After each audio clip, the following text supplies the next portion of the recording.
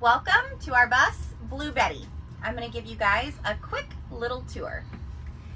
Here's where we have our kitchen and our extra seating. We made sure to um, put in a bar where we can do quick and go grab breakfast, um, nice little snacks right there. We can work on homework or anything else that we've got going on. Um, and this is our living room. It's a really long walk from the kitchen to the living room. We have plenty of storage up above and um, yeah, it's a really nice cozy space for us. And if you walk a little further, we have our nice custom gold sink that we put in. I wanted to do a, a white and gold with uh, navy blue and some natural greens just to make it um, pop and feel more fresh. We have a residential size fridge.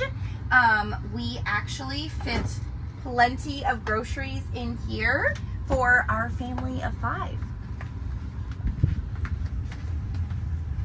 This is where our kids sleep. We have three kids. They're 10, 7, and 5. And so each of them get their own bunk with their own lights and their own air vent. Plenty of space for them. And they got to pick out their own wallpaper to make it their own. In addition, we also have our sink and our toilet. We just got a composting toilet.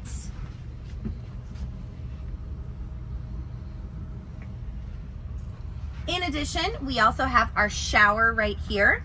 We have basically all the amenities of an actual house just on wheels.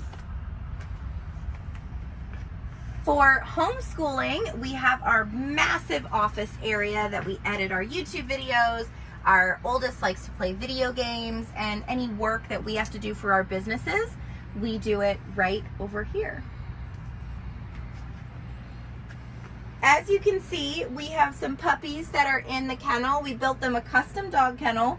All three fit perfectly. They can stand up, they can sit down, they can turn around.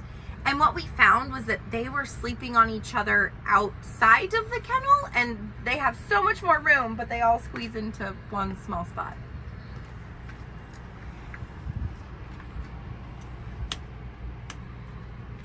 as you can see, I like fashion and I like clothes.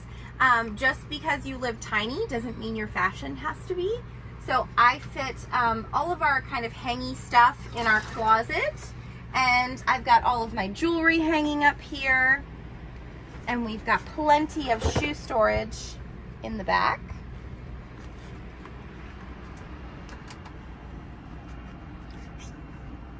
One thing that was really important was having a king size bed. We love to have movie nights with the kids, everybody pile up in the bed with all the dogs.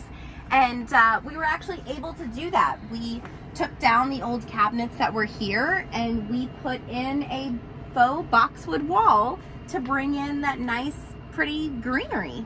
We want to thank you guys for coming and touring our bus and uh, we hope that you follow along our adventures.